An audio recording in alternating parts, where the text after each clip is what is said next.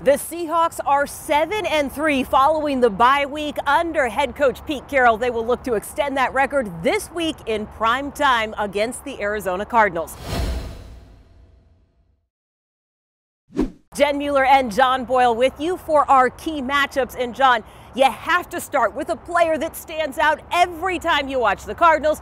It is Kyler Murray against this entire Seahawks defense it really is going to be a group effort. As Pete Carroll said, you can't watch this team without watching Kyler Murray. Not only can he make some big throws down the field, he's got a great arm, he's got great weapons like DeAndre Hopkins, but he is a great runner. KJ Wright said he might be the quickest player they see all season. He leads the NFL amongst quarterbacks in rushing yards, and he leads all NFL runners at 7.3 yards per carry. So, really dangerous player that everyone's going to have to account for. I think one of the other intriguing matchups that we're looking at is DK Metcalf against Patrick Peterson. We have seen that before, and I think DK has learned some lessons from that past experience. Yeah, last year in the second game between these teams, Patrick Peterson followed DK Metcalf around the whole game. DK Metcalf did not have a catch. Now, that's not all on DK Metcalf. As Brian Schottenheimer said, the offense just had a hard time getting going that day.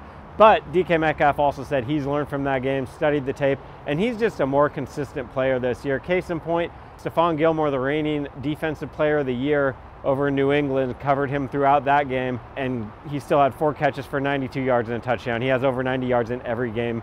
So I don't think we're going to see DK Metcalf kept off the stat sheet. But as Metcalf himself said, if they do a good job keeping him in check, that's just going to be more opportunity for Tyler Lockett and company. You never want to waste a red zone opportunity, but John, I think in this game that becomes even more apparent when you look at the numbers. Exactly. Both these teams have been the best in the NFL in the red zone this year. Seahawks have converted 88.9% of their red zone chances into touchdowns.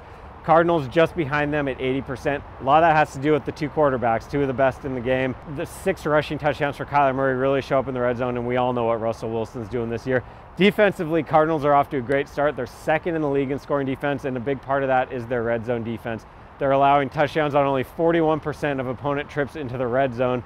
Seahawks have been solid, not quite as strong, but they're allowing touchdowns on 64% of opponent trips. So whoever wins that red zone battle could very well come out on top this week. Well, the Seahawks will look to improve their record to 6 and 0 to start the season. You can listen to that game on the Seahawks Radio Network and make sure that you read everything John Boyle posts at Seahawks.com.